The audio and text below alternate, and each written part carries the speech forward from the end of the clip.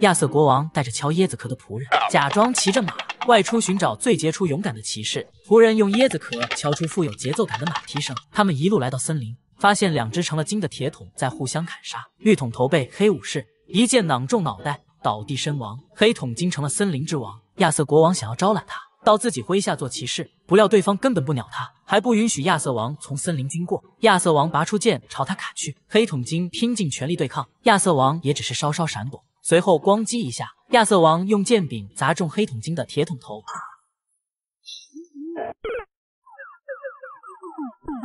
瞬间给他震懵了。亚瑟只需略微用力，就砍掉了黑桶精一只胳膊。你胳膊都掉了，快让开吧，这只是挠痒痒，我还有一只呢。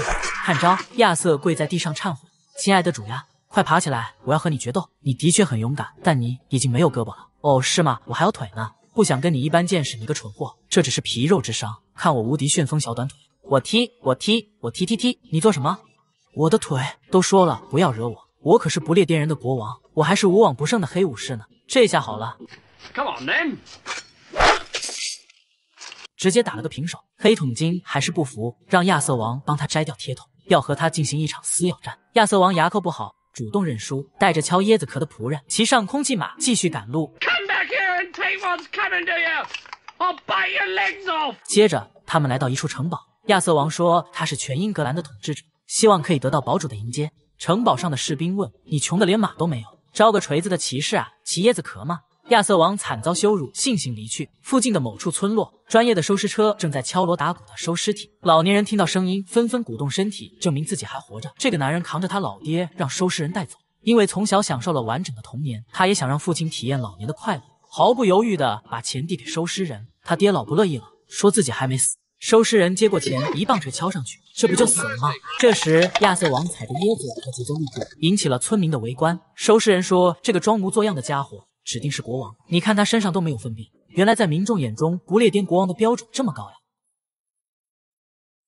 上帝在云彩中显灵了，给亚瑟王下达了一个神圣的任务。寻找传说中的圣杯。亚瑟王的身份来源于湖中女神在水面上举起圣剑，赋予亚瑟执掌圣剑之责。亚瑟王在村民面前亮明他不列颠国王的身份。正在玩泥巴的大妈很疑惑，原来不列颠还有国王啊！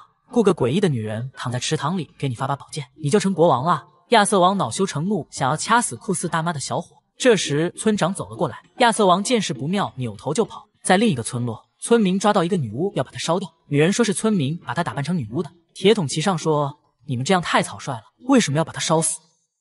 因为女巫是木头做的。”骑士说：“对啊，那该怎么分辨她是不是木头做的呢？木头能浮在水上，对不对？”村民异口同声的说：“对。”争先恐后的就要把女巫丢进湖里。骑士接着说：“怎么能这么草率呢？想一想，还有什么东西能浮在水面上？”村民说什么的都有，但没一个靠谱的。亚瑟王看到这一幕，心想：大不列颠的子民这么蠢的吗？于是出声道。鸭子骑士说：“没错，是鸭子。如果女巫和鸭子一样重，那她就是木头做的，就是真正的女巫了。”村民们连忙找了个天平，放上只鸭子一称，一样重，那定是女巫无疑了。立马抬着女巫生火去了。众人走后，骑士主动下跪，亚瑟王将其封为彼得维热爵士，他成了亚瑟王麾下的第一个骑士。为了加快节奏，影片以电影之书的形式，把圆桌骑士下的智慧骑士、大聪明骑士。一一招入麾下，一路上亚瑟王又雇了几个敲椰子壳的仆人，和骑士们一起佯装骑千军万马的空气马。上帝给亚瑟王安排了寻找圣杯的任务。一行人来到一处城堡，亚瑟王称，如果堡主允许他们留下来混吃混喝，他就可以带堡主跟骑士团一起寻找圣杯。士兵说，他们堡主已经有圣杯了，不稀罕，而且他们是法国人，不屑加入英格兰的骑士团。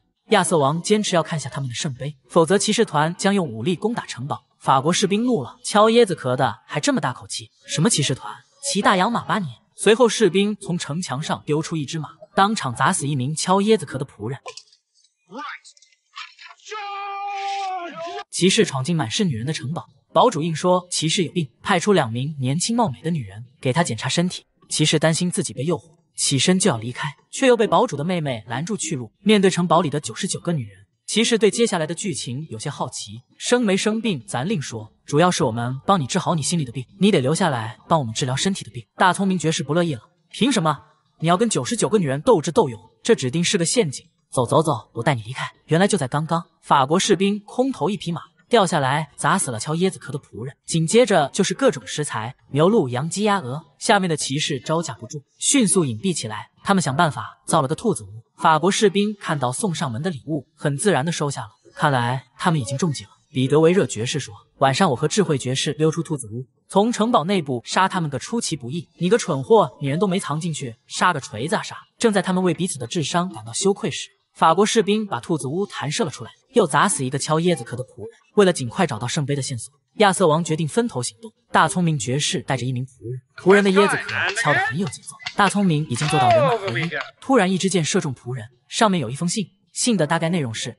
父亲逼自己结婚，王子试图逃婚，地址沼泽城堡。大聪明爵士认为这封信是引导圣杯的征兆。椰子壳呀，我不会让你白死的。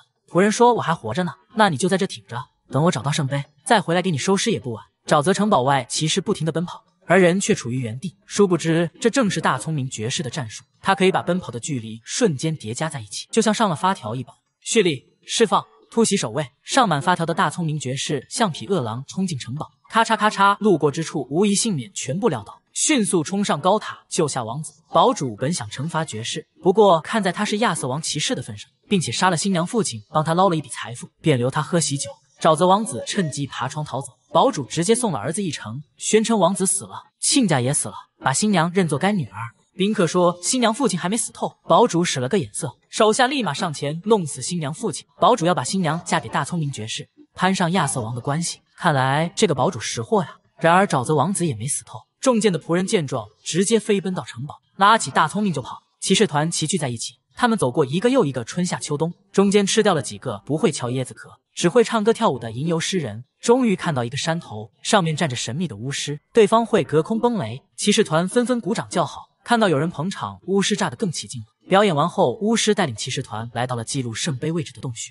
路上敲椰子壳的仆人们突然开始不安起来。骑士们见状，立刻下马徒步前行。洞穴前满是骸骨，一只吃人专吐骨头的小白兔守着洞口。亚瑟王派出新收的铁桶骑士上前查看情况，骑士瞬间就被杀手兔嘎了。亚瑟王当即冲出去要活剥了杀手兔。一场惨烈的厮杀只持续了半分钟，新收的骑士都死了。亚瑟王和原先的爵士们跑得快，他们在十米开外商量对策，不杀了小白兔，大不列颠的颜面何在？他们朝巫师借了一枚神圣手榴弹，把杀手兔炸死了。骑士团顺利进入洞穴，却又遭到传说中的多眼兽的追杀。幸运的是，这只多眼兽是动画制作的。动画师突然心梗凉了，没人画多眼兽了。亚瑟王就这样摆脱了危险。他对地球的认知是香蕉状，他对新知识很困惑，最终也没找到圣杯。上映于一九七五年的奇幻搞笑电影《无厘头》在那个年代还不是人人都能欣赏得动的。剧情很奇葩，幕后制作也很奇葩。如果你感到脸盲，相信自己，因为主要演员基本都要扮演五六个角色。